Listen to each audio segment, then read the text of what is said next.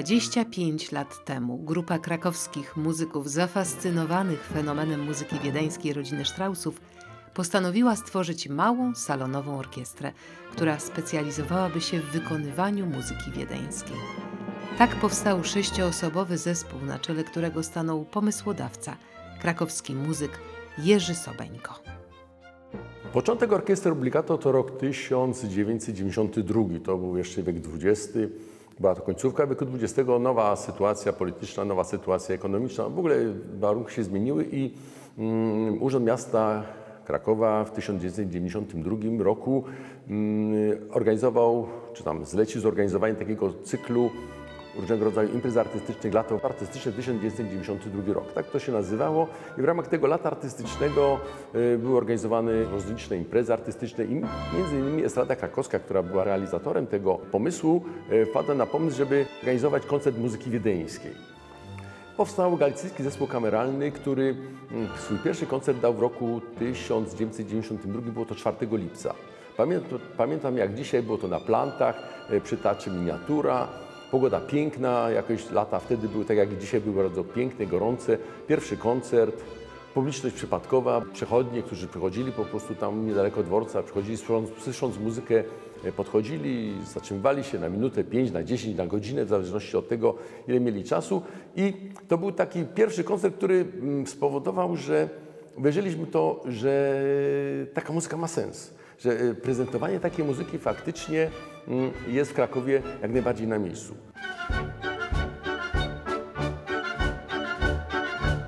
W 1993 roku e, muzeum zastanawiało się nad rozszerzeniem działalności i tak się zdarzyło, że akurat obligato występowało na plantach krakowskich e, w rejonie ulicy Basztowej.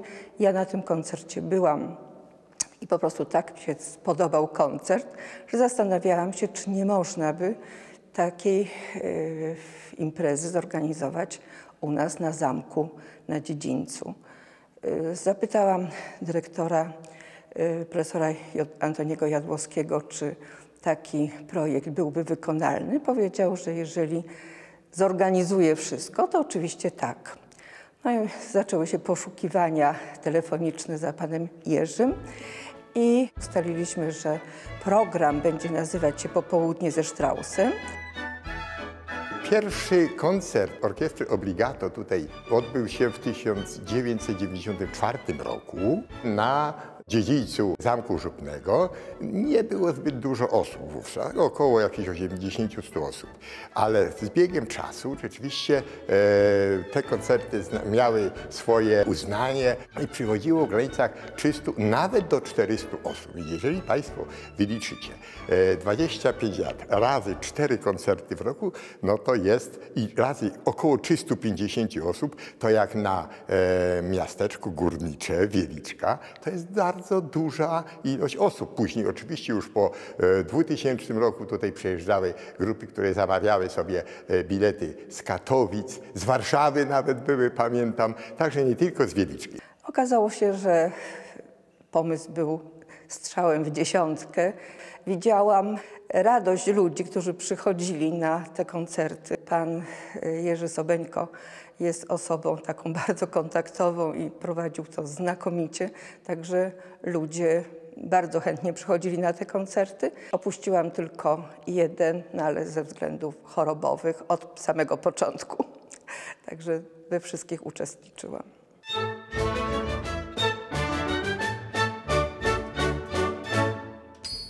Dużą e, rolę tu spełniał pan Jerzy Sobejko który był założycielem tej orkiestry. On też nawiązał kontakty z nami. Razem myśmy y, doszli do tego wniosku, żeby spróbować właśnie tę, tę, tę muzykę tutaj propagować. I jak widział, że to ma takie duże uznanie, y, proszę Państwa, to y, rok później bodajże zostało powołane też z inicjatywy pana Sobejki e, Polskie Towarzystwo Strasowskie, które funkcjonuje do dziś, a miało ono pierwszy zarząd wcale nie taki podrzędny, mianowicie do zarządu wszedł ówczesny konsul austriacki w Krakowie, pani Elizabeth Strauss, krakowianka, ale weszła do rodziny Straussów, no także e, cieszyliśmy się tym mocno i do dziś również to towarzystwo dalej funkcjonuje. Początkowo to niejako z urzędu, e, jako kierownik obiektu, w którym te koncerty się odbywały, przychodziłem. Ale to właściwie tak weszło mi w krew, że później ja, jak wypadało mi jakieś inne zajęcie e, w tą ostatnią niedzielę danego miesiąca, to wszystko robiłem, żeby je przełożyć, żeby się znaleźć na tym koncercie. Także z orkiestrą i z, przede wszystkim z tą muzyką się bardzo zżyłem. Zawdzięczam to niewątpliwie dużo samemu zespołowi, ale przede wszystkim jego e, dyrygentowi, panu Jerzemu Sobejce.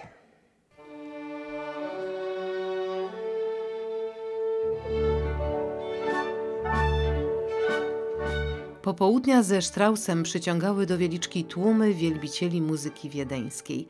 Galicyjski zespół kameralny, który do swojej nazwy dodał określenie obligato, wychodząc naprzeciw oczekiwaniom publiczności, zaczął zapraszać do współpracy solistów. Jedną z pierwszych była ówczesna primadonna opery krakowskiej Krystyna Tyburowska, z którą orkiestra współpracuje do dzisiaj.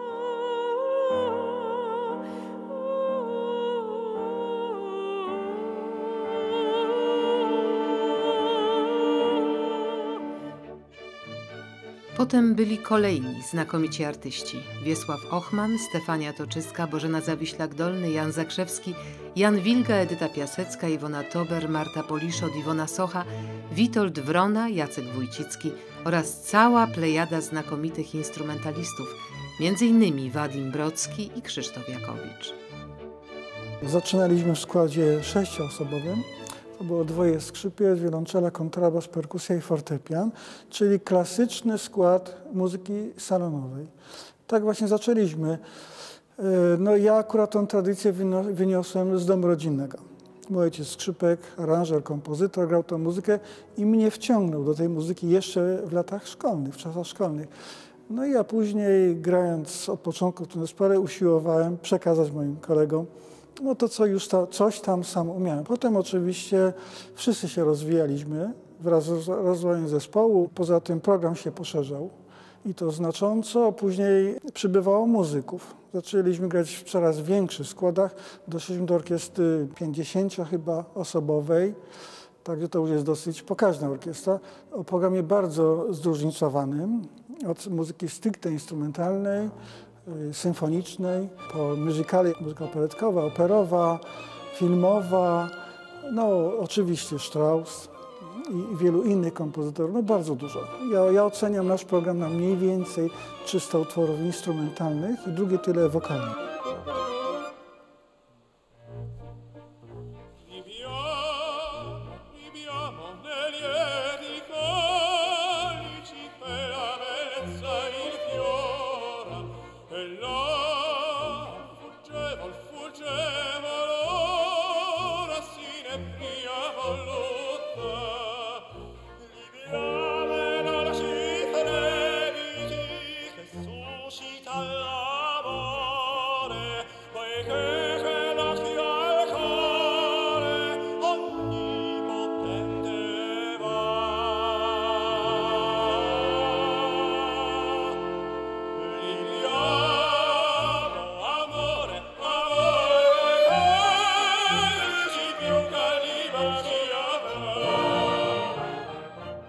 Spotkanie z panią Jolantą Suder, y, to był rok 2006, spowodował, że orkiestra w gwałtowny sposób y, zmieniła się. Pani Jolanta Suder, y, człowiek niezwiązany jakby z muzyką, ale o dużej wrażliwości muzycznej stwierdziła, że oczywiście muzyka wiedeńska jest piękna, wszyscy ją kochamy, bez wątpienia. Niemniej jednak chcąc funkcjonować na rynku przy coraz większej konkurencji, trzeba być bardziej konkurencyjnym. Trzeba proponować muzykę, na którą przyjdą różni słuchacze. Bo nie każdy lubi muzykę wiedeńską. Niektórzy lubią właśnie muzykę filmową, czy piosenkę, czy, czy lubią na przykład no, muzykę musical. I w tym momencie właśnie dzięki współpracy, kiedy dzięki poznaniu pani Joli Suder udało nam się zmienić profil, za jej oczywiście, za jej sugestiami, czy jej aktywnym działaniem. Dobry wieczór Państwu. Dobry wieczór Państwu. Dobry wieczór, proszę uprzejmie. Panie maestro, ale proszę nie uciekać dobry ze sceny. Dobry wieczór. Dobry wieczór. Dobry wieczór Państwu. Witam Państwa serdecznie, jestem ogromnie zaszczycona. Mamy wielki zaszczyt przywitać Państwa na... Spotkanie z panią Jolą nie było prostą rzeczą, ponieważ pani Jola jest osobą bardzo wymagającą, bardzo kon konkretną i bardzo zdecydowanie dążącą do celu. No, bardzo często sprzeczaliśmy się na różne tematy mm, takie artystyczne, no ale przekonywałem się, że jej wyczucie, wyczucie sytuacji, wyczucie oczekiwań publiczności jest właściwe.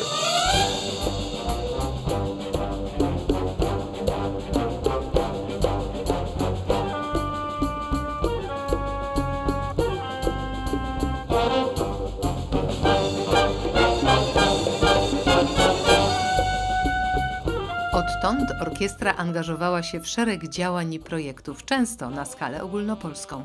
Były kolejne części muzycznej Odysei i nawiązanie współpracy z niedoścignionym Bogusławem Kaczyńskim. A teraz już, proszę Państwa, rozpoczynam naszą galę. Przywitała Państwa orkiestra imienia Johanna Straussa. Rekonstrukcja tej dawnej Straussowskiej orkiestry ta orkiestra przyjechała do nas z Krakowa, jest znanym zespołem, który występuje w kraju, występuje za granicą i szczyci się tym, że pielęgnuje, kultywuje tradycję muzyki wiedeńskiej, no oczywiście muzyki Johanna Straussa. Dyryguje tą orkiestrą i twórcą tej orkiestry jest świetny dyrygent, pianista Jerzy Sobeńko traktuje tą orkiestrę niepoważniej, może to złe określenie, e, ale traktuje ich e, po rodzinnemu wręcz. W każdym można zobaczyć specyficzne cechy. A Jerzego Sobeńko, który stworzył tą orkiestrę, który rozpoczynał od kwartetu, który organizował pierwsze spotkania, ja sądzę, jeżeli powiem, że traktuje jak brata, to nie przesadzę.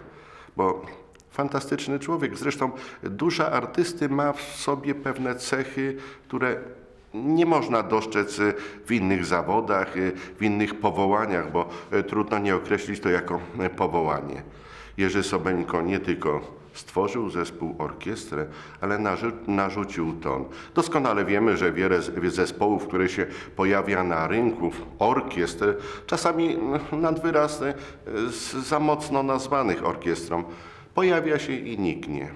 Natomiast osoba Jerzego Sobeńko stworzyła trwały, trwałą grupę, trwały zespół. Ja sądzę, mm, że muszę powiedzieć jako wieliczanin o samej Wieliczce, gdzie wszystko się zaczęło.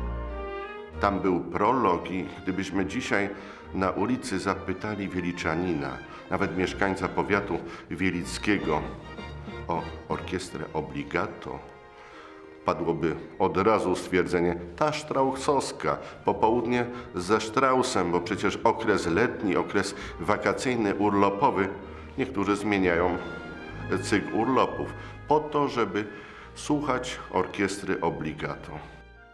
W dalszym ciągu rozwija się działalność obligato, bo dzisiaj e, orkiestra również występuje e, na scenie tygodniowej, e, prezentacji osiągnięć muzyki e, światowej, światowych artystów. Stworzone Summer Music Festival właśnie w Wieliczce, e, muzyka w plenerze, to jest niezapomniane wrażenie. I z jednej strony Strauss w pięknym wykonaniu, a z drugiej strony kontynuacja i wskazanie innych motywów muzycznych, fantastycznych kompozytorów. Oczywiście wszystko to musi być pod batutą Jerzego e, Sobeńki. Si un jour la vie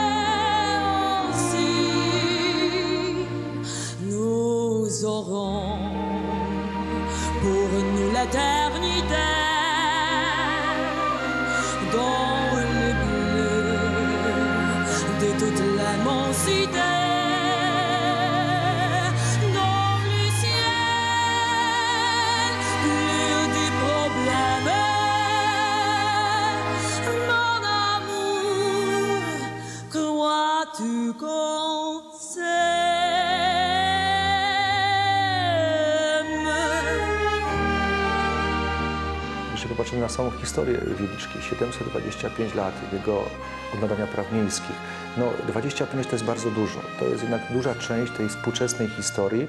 E, oprócz tego, co tworzy się i tworzyło przez lata, czyli kopalnie soli, całą infrastrukturę taką turystyczną, nagle pojawił się taki ważny element, po prostu e, mu- muzyczny element, takiego królowania muzyki w mieście, e, przyciągająca tłumy ludzi i, i też dający obraz te, temu miastu.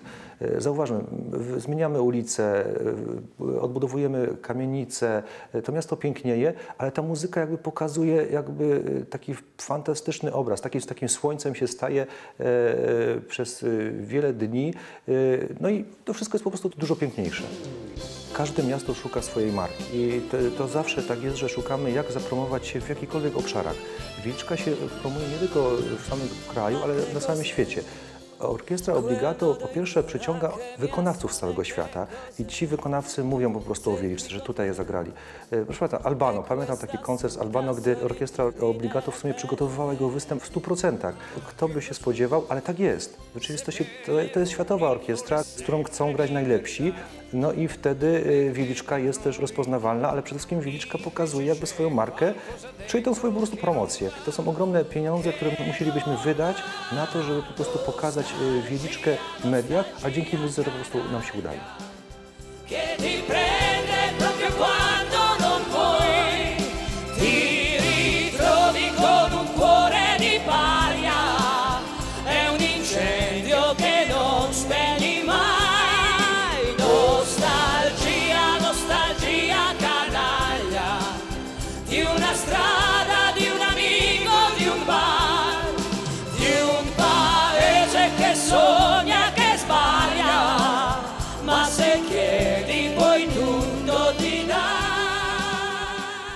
Orkiestrę Obligato zapraszano do udziału w znaczących festiwalach i wydarzeniach. Wśród nich były Europejski Festiwal imienia Jana Kiepury, 750-lecie lokacji Krakowa, 60-lecie Uniwersytetu Rolniczego i 100-lecie Akademii Górniczo-Hutniczej. Niektóre projekty muzyczne zrealizowane z orkiestrą na stałe wpisały się w kalendarz kulturalny Krakowa. Należy do nich Europejska Gala Operowa imienia Bogusława Kaczyńskiego. Madonna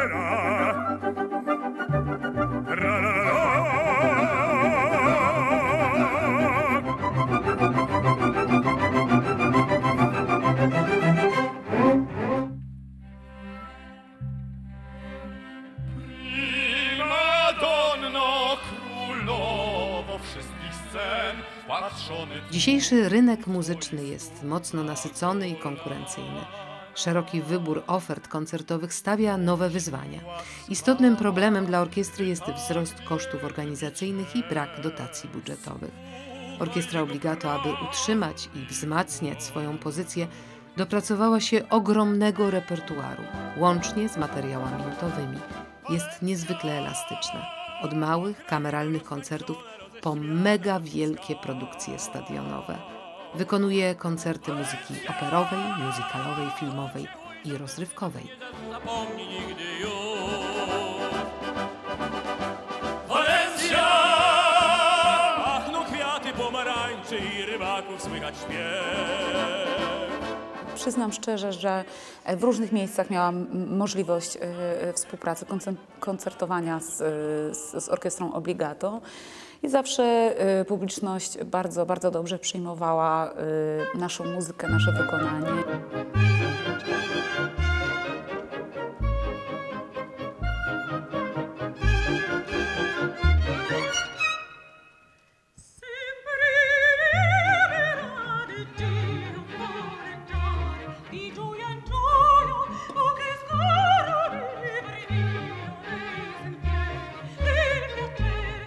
Proponujemy utwory przyjemne, y, no, sprawdzone przez lata, y, nie tylko przez nas, ale przez innych wykonawców, te, które powodują refleksję, które powodują uśmiech na twarzy widza. Niejednokrotnie muzyka bardzo przyjemna dla ucha, no i podnosząca na duchu, no, nie tylko nas, wykonawców, ale i także tę publiczność, która mam nadzieję, że po takim koncercie drugi raz absolutnie wybierze się na tego typu koncert.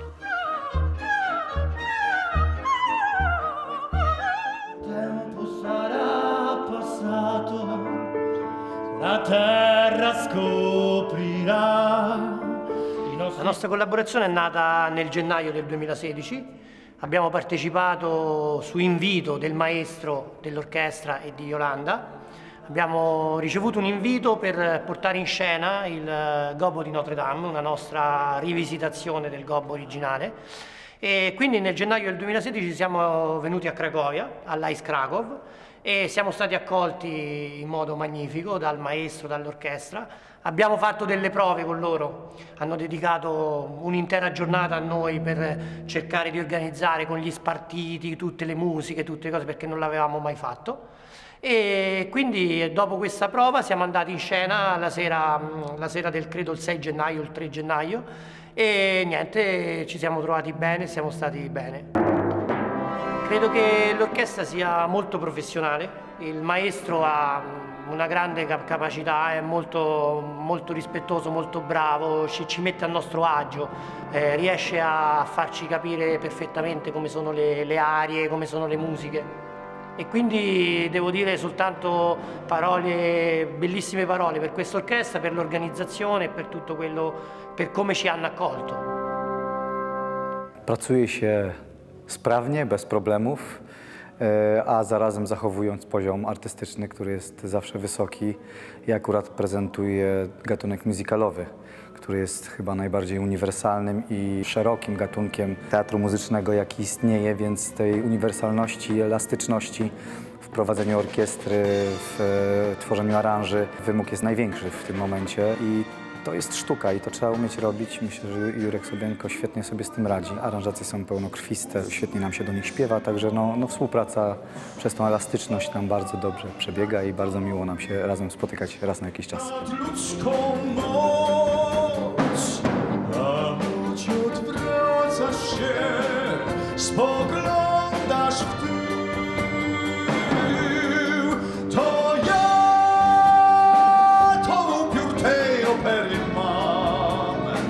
Polsce nie tylko muzykalowy, ale też teatralny, kinowy jest o wiele bardziej wymagający w tej chwili. Zaczyna rozumieć, że ma pewne prawa jako widz i to dosyć duże i właściwie, że to on decyduje o tym, czy coś jest dobre, czy nie, tak naprawdę. Czasami jest to niesprawiedliwe, ale taki już jest zawód.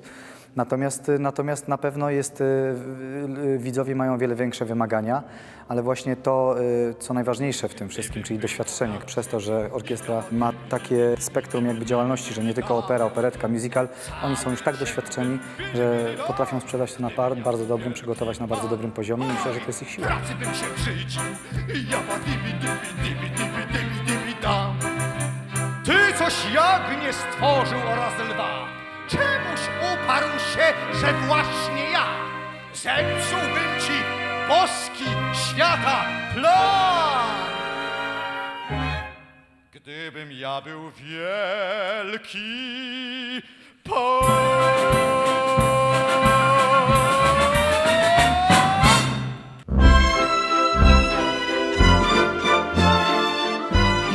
Istniejąca 25 lat orkiestra Straussowska Obligato, mimo nowych wyzwań i propozycji, pozostała jednak nadal wierna swej pierwszej miłości ponadczasowej muzyce dynastii Straussów.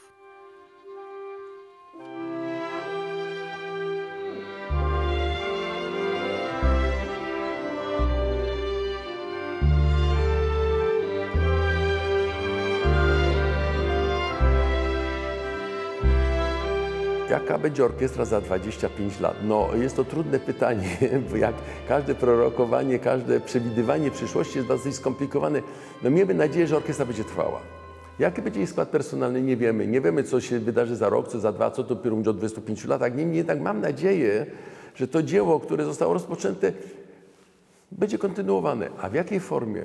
No, cóż możemy powiedzieć? Cóż możemy powiedzieć o przyszłości, skoro nie znamy nawet dnia jutrzejszego?